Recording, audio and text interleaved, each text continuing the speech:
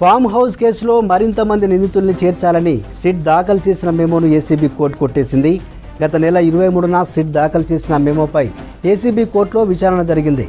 కేసులో ఏ ఫోర్గా BL Santosh A ఫైవ్గా తుషార్ ఏ సిక్స్గా జగ్గుస్వామి ఏ సెవెన్గా శ్రీనివాసులను చేర్చాలని మెమో దాఖలు చేసింది సిట్. అయితే ఈ మెమోపై నిందితుల తరపు లాయర్లు అభ్యంతరం వ్యక్తం చేశారు.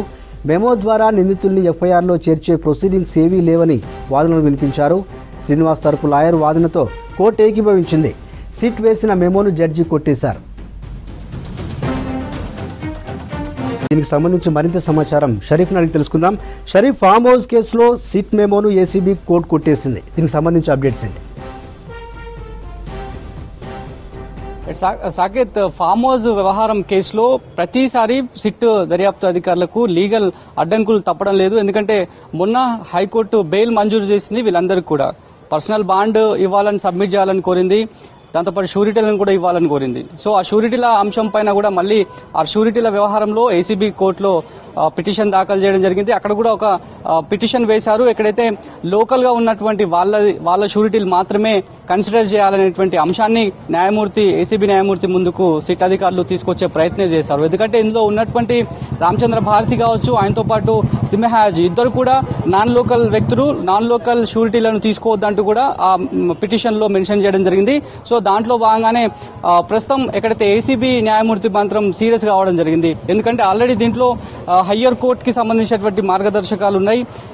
అంటే ఏం- కోర్టులు ఏం చేయాలో అది కూడా మీ దర్యాప్తు అధికారులు చెప్తే ఎట్లా? బేషరతుగా కోర్టుకి క్షమాపణ చెప్పాలంటూ కూడా ఆగ్రహం వ్యక్తం చేసిన సిచ్యువేషన్స్ ఉన్నాయి. ఆ క్షమాపణ సిట్టు సిట్ నుంచి వచ్చిన తర్వాత మళ్ళీ మెమోని వెనక్కి తీసుకున్నారు. ఆ తర్వాత మళ్ళీ తాజాగా ఇరవై రెండవ తారీఖు రోజు మెమోను సిట్ అధికారులు దాఖలు చేయడం జరిగింది. ఇందులో ప్రధానంగా పేర్లు వినిపిస్తున్నటువంటి సంతోష్ జీ కావచ్చు తుషార్ కావచ్చు అదేవిధంగా శ్రీనివాస్ జగ్గుస్వామి. వీళ్ళ పేర్లను ఎఫ్ఐఆర్లో నమోదు చేయాలంటూ కూడా మెమోను ఫైల్ చేశారు సిట్ అధికారులు. ఫైల్ అయినటువంటి మెమో పైన సిట్ తరఫు వచ్చినటువంటి మెమో పైన అభ్యంతరం వ్యక్తం చేశారు.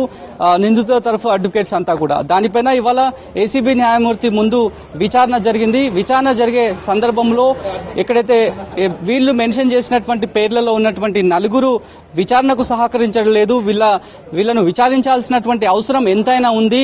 దర్యాప్తు సంస్థకు వీళ్ళు ఎన్ని ఎన్ని టైమ్స్ అడిగినా కూడా వీళ్ళు వచ్చి అపియర్ కావట్లేదు. ఇన్వెస్టిగేషన్ ఏజెన్సీ ముందు ఇన్వెస్టిగేషన్ అధికారి ముందు వివరణ ఇవ్వడానికి వాళ్ళు నిరాకరిస్తున్నారు.